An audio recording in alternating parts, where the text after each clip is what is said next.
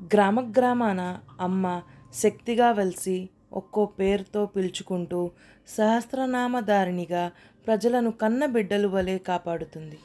జగన్మాతకు ఉన్న అనేక దేవాలయాల్లో కొన్ని భక్తి లోకంలో విపరీతమైన విశ్వాసాన్ని కలిగించాయి. అమ్మ ఎక్కడైనా అమ్మే కానీ భక్తులకు కలిగిన అనుభవాలే వారిలో నమ్మకాన్ని పెంచాయి. అలా అమ్మ ఇక్కడ స్థిర నివాసం ఉంటుందనే భావన అపూర్వ అనుభూతిని కలిగించే ఆలయాలలో శ్రీ చెంగాళమ్మ పరమేశ్వరి ఆలయం ఒకటి. మన రాష్ట్రంలో నెల్లూరు జిల్లాలో తమిళనాడుకి సరిహద్దులో ఉన్న సూళ్ళూరుపేటలో కొన్ని వందల సంవత్సరాలుగా పూజలు అందుకుంటుంది శ్రీ చెంగాళమ్మ. మరి ఈ ఆలయ విశేషాలేంటో తెలుసుకుందాం. వీడియోలోకి వెళ్ళే ముందు మీరు కనుక నా ఛానల్ ఇంకా సబ్స్క్రైబ్ చేసుకోకపోతే సబ్స్క్రైబ్ చేసుకొని బెల్ యాక్టివేట్ చేసుకోండి. నేను చేసే కొత్త వీడియో అప్డేట్స్ మీకు వచ్చేస్తాయి. శ్రీ చెంగాళమ్మ పరమేశ్వరి ఆలయం చెన్నైకు ఎనభై మూడు కిలోమీటర్ల దూరంలో మరియు నెల్లూరుకు వంద కిలోమీటర్ల దూరంలో కొలువై ఉంది. ఇక్కడి స్థల పురాణం ప్రకారం కొన్ని వేల సంవత్సరాలకు పూర్వం ఈ ఊరిని శుభగిరి అని పిలిచేవారు. ఊరికి పశ్చిమంగా కాళంగి నది ప్రవహిస్తుండేది. రోజులాగానే కొందరు పశువుల కాపర్లు పశువులను మేతకు తీసుకువెళ్ళారు. సాయంత్రం తిరిగి ఇళ్ళకు చేరే ముందు కళంగి నదిలో ఈతకి దిగిన కొందరు నీటి ప్రవాహ వేగానికి సుడిలో చిక్కుకొని కొట్టుకొని పోతూ ఒక శిలను పట్టుకొని ఆ ఆసరాతో ఒడ్డుకు చేరుకున్నారు. నీటి ఉధృతి తగ్గిన తర్వాత చూడగా అది ఒక శ్రీమూర్తి విగ్రహం. తలపై నాగపడిగా ఎనిమిది చేతులలో వివిధ ఆయుధాలు ధరించి పాదాల క్రింద దానవుని దునుముతున్న మహిషాసురు మద్దినిలాగా ఉండటం గమనించారు. గ్రామస్తులకు ఈ విషయం తెలియజేయగా వారు వచ్చి చీకటి పడటంతో ఆ అమ్మవారి విగ్రహాన్ని రావి వృక్షము కింద తూర్పు ముఖంగా పడుకొనబెట్టి వెళ్ళారు. మరుసటి రోజు వచ్చి చూడగా అమ్మవారి విగ్రహం దక్షిణ ముఖముగా నిటారుగా నిలబడి మహిషాసుర మర్దిని స్వయంభుగా వెలిసి ఉండటం చూసి ఆశ్చర్యంలో మునిగిపోయారు.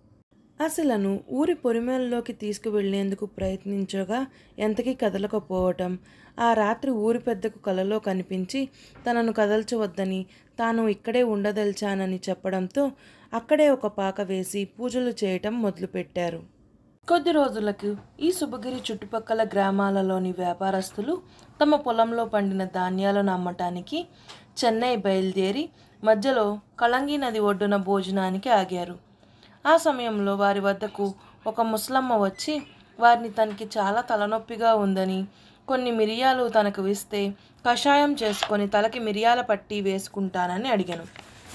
దానికి వారు ఇవి మిరియాలు కాదు జొన్నలు అని అబద్ధం చెప్పి ఆ ముసలమ్మ వెళ్ళిపోయాక దారిలో కనిపించిన వాళ్ళందరికీ ఇలాగా బస్తాలు విప్పి మిరియాలు ఇస్తూ పోతే వ్యాపారం చేయలేం అని నవ్వుకున్నారు.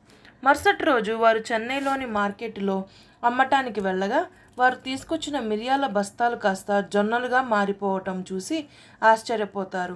దీనితో వారికి ఆ ముసలమ్మ గుర్తుకు వచ్చి అక్కడ వారికి జరిగిన విషయం చెప్పగా అక్కడి వారు మీరు ఆగిన చోట ఒక అమ్మవారు ఉందని వెళ్ళి దర్శించాలని సూచించారు. వారు అక్కడికి చేరుకొని తాము చేసిన తప్పును తెలుసుకున్నామని విన్నవించగా అమ్మ వారిలోని ఒకరికి పూని మీకు నా గురించి తెలియాలని మీ వద్దకు వచ్చాను.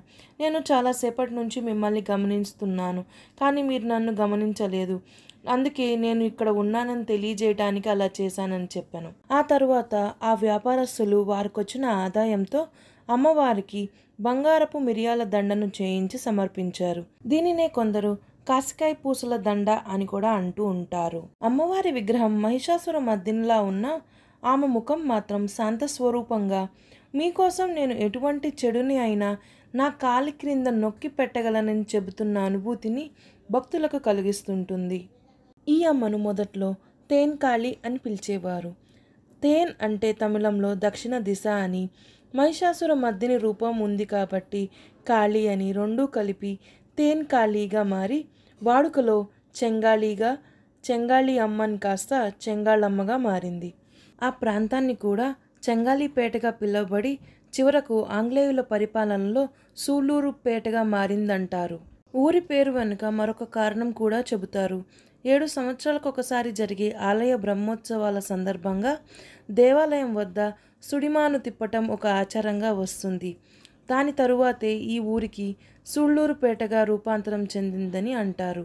అంతేకాకుండా ఈ పరిసర ప్రాంతాల్లో ఉన్న నీటి ప్రవాహాలలో సూళ్ళు ఎక్కువగా ఉండటం వలన ఈ ప్రాంతానికి సూళ్ళూరుపేట అని పేరు వచ్చిందని కూడా చెబుతుంటారు. అంతకంతకు అభివృద్ధి చెందుతున్న సమయంలో ఒక దొంగ అమ్మవారి నగల కోసం ఆలయంలోకి ప్రవేశించి దొంగతనానికి ప్రయత్నించగా అమ్మ కళ్ళు తెరిచి చూశాను ఆ స్వరూపంలో అమ్మను చూసి భయపడిన దొంగ అక్కడే కళ్ళు తిరిగి పడిపోయాను. మరుసటి రోజు ఆలయంలో పడి ఉన్న దొంగను చూసిన స్థానికులు ఆ దొంగను లేపి వృత్తాంతం తెలుసుకొని భవిష్యత్తులో ఇలాంటివి మళ్ళీ జరగకుండా అమ్మవారి గుడికి తలుపులు పెట్టాలనుకున్నారు. తలుపులను చేయించి రాత్రి కావడంతో ఆలయానికి ఈశాన్య దిశలో ఉన్న మద్ది చెట్టుకి ఆనిచ్చి పెట్టి వచ్చారు. ఆ రాత్రి అమ్మ మళ్ళీ ఊరి పెద్ద కల్లో కనపడి తన గుడికి ఎటువంటి తలుపులు పెట్టవద్దని రోడ్డు మీద వచ్చి పోయే భక్తులను తాను చూస్తూ ఉండాలని అలాగే తన దర్శనానికి ఏ సమయంలో వచ్చినా నా భక్తులకు ఇబ్బంది కలగకూడదని హెచ్చరించిందట. మరుసటి రోజు వెళ్ళి చూడగా ఆ తలుపులు ఆ మధ్య వృక్షంలో కలిసిపోయి చిగురించి కనిపించాయి. ఇప్పటికీ ఆ ఆనవాళ్ళు కనపడటం ఈ ఆలయంలోని విశేషం. దీన్ని చెంగాళమ్మ చెట్టు అని పిలుస్తుంటారు. సంతానం వివాహం కోరుకునేవారు పసుపు కొమ్ములు ఊయళ్ళు కట్టి ప్రార్థిస్తుంటారు. ఇది శ్రీ చెంగాళమ్మ మహత్యమ అన్నట్లుగా వృక్ష మూలంలో అమ్మవారి రూపం సాక్షాత్కరించడం ఒక విశేషంగా పేర్కొనవచ్చు. ఈ వృక్షం దగ్గర నాగలింగం నవగ్రహ మండపం ఉంటాయి. సువిశాల ప్రాంగణంలో ఆలయ సముదాయం నిర్మించబడి ఉంటుంది. తూర్పు వైపున స్వాగత ద్వారం రాజగోపురం నిర్మించారు. ఉప ఆలయాలలో గణపతి లింగరూప కైలాసనాథుడు నాగదేవతలు కొలువుదీరి దర్శనమిస్తారు. నూతనంగా నిర్మించబడిన ప్రధాన ఆలయం ముఖమండపంలో నవదుర్గా రూపాలను సుందరంగా మలిచి నిలిపారు. గర్భాలయంలో స్వర్ణాలంకృత భూషితగా శ్రీ చెంగాళమ్మ పరమేశ్వరి కొలువై ఉంటారు. ఆలయం నిర్మించిన దగ్గర నుంచి బలిజ కులస్తులే పూజాధికారులు నిర్వహిస్తున్నారు. వివాహము ఉపనయనం పిల్లలకు తొలిసారి చెవులు కుట్టడం అక్షరాభ్యాసం లాంటివి జరుపుకోవడానికి దేవాలయంలో తగిన ఏర్పాట్లు ఉన్నాయి. విశాల మండపము వసతి గదులు అందుబాటు ధరల్లో దేవస్థానం ఏర్పాటు చేసింది. ప్రతినిత్యం నియమంగా ఎన్నో రకాల పూజలు అర్చనలు సేవలు శ్రీ చెంగాళమ్మ పరమేశ్వరికి జరుగుతాయి.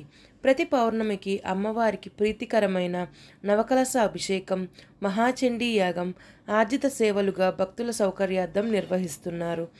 గణపతి నవరాత్రులు ఉగాది మహాశివరాత్రి నాగుల చవితి సందర్భాల్లో భక్తులు వేలాదిగా పాల్గొంటారు. దసరా నవరాత్రుల్లో ఆలయ శోభ మరింతగా పెరుగుతుంది.